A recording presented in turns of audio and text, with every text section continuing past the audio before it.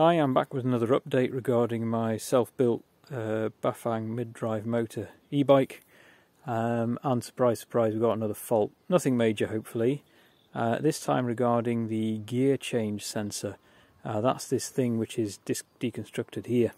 Um, the idea is that when you change gears, it, that sits like so. When this wire moves, when you're changing gears, it moves this little pulley, and that little pulley is sensed because this wire connects down through to the motor um, and it cuts out the motor temporarily when you change gears so you don't crunch them with all that power the motor's producing. Um, so it just hadn't been used for a month or two the bike, uh, came to use it last week and it wasn't working. Um, so I've just deconstructed it, uh, there's no uh, way it's supposed to be dismantled.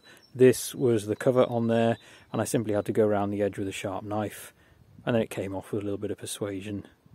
Um, and it's a pretty simple device really. You've got cable normally comes in there, runs across over the pulley and out the other side and that pulley is supposed to move. Now it is doing now as you can see as, I rotate it with my fingers. Um, I'm not sure now whether it was when I first took it to bits but I'll show you how it comes to bits and how it works.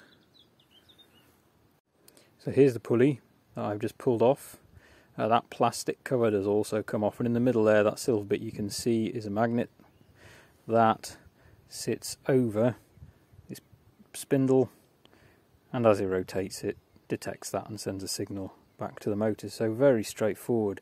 So I'm guessing we've got two options here if it wasn't working.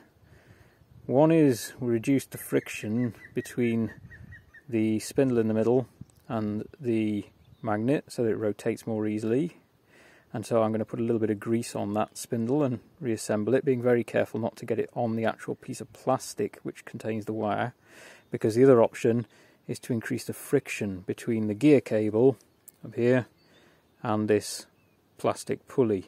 And I have read online that some people have done that by filing their gear cable, which makes me a little bit apprehensive uh, about it snapping. I've just had a gentle go with a file myself I can't feel that it's any rougher and I'm loath to really go at it uh, just because in case it frays it or it snaps. So my first port call is really just going to be to, to grease up this spindle and uh, and see if that makes it rotate more freely and, and makes it work again. So a little bit of grease on that spindle seems to have done the trick. I've just put it back together here with some good old trusty gaffer tape carpet tape around it, but I've cut out so you can still see the LED so you can see when it's working. You might see that there's an occasional red flash there, it tells us that it's working and it's on. And if I hold that up there, you should now see a green flash when I've changed gear. There you go. And back down again. So all it needed was a bit of lubrication on that central spindle and now there appears to be no problem with that cable moving the, the little uh, spindle. Good. Um, we'll see how long that lasts. I'll do another video and let you guys know if it runs into any further problems. Take care.